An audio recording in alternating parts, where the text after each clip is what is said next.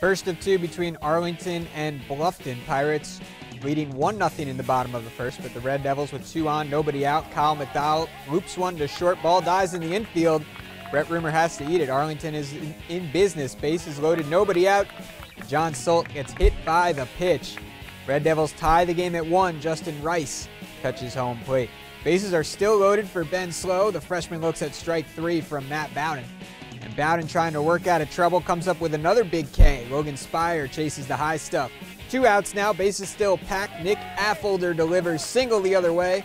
Matthew Crawford comes in to score. McDowell coming right behind, but the throw from left is on the money, tagged out at home to end the inning. Arlington goes in front two to one, and they win a close one in game one, eight to seven, your final, and then a little more breathing room in game two, 17-4.